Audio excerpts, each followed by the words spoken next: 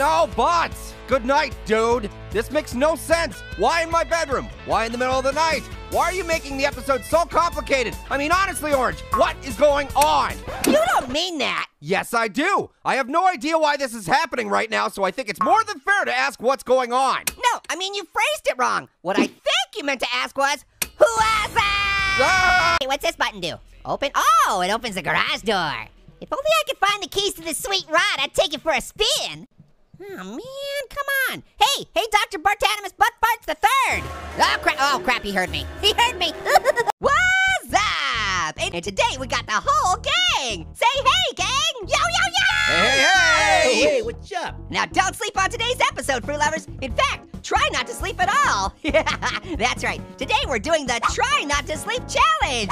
And thank you, Grandpa Lemon, for demonstrating on what not to do. The rules of the Try Not to Sleep Challenge couldn't be simpler. If you sleep, you lose. So Grandpa Lemon already lost?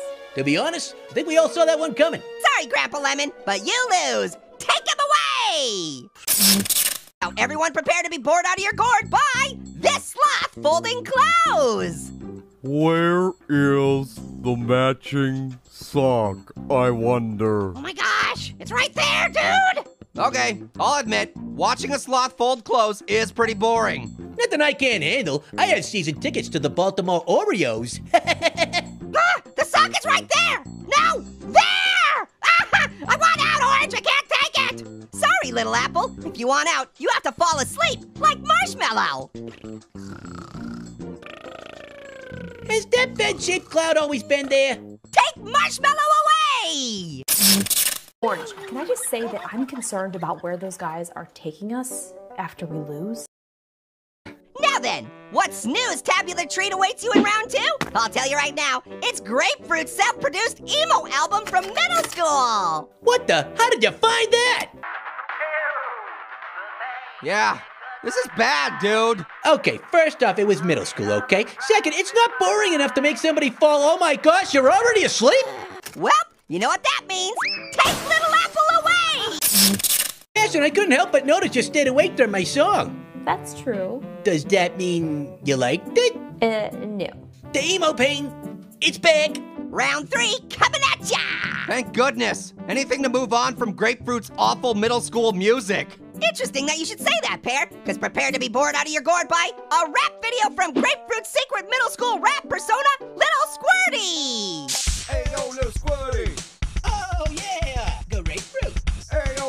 Wow, Grapefruit, you've been busy with your secret music career, huh? What is this, huh? We doing a try not to sleep challenge here, or is this a rip on grapefruit's artistic endeavors challenge? This stuff isn't even boring. Is it a bit dated? Perhaps. But quality is timeless. No one would ever fall asleep when little squirty spitting bars, and sure enough, passion's asleep. Take her away, boys.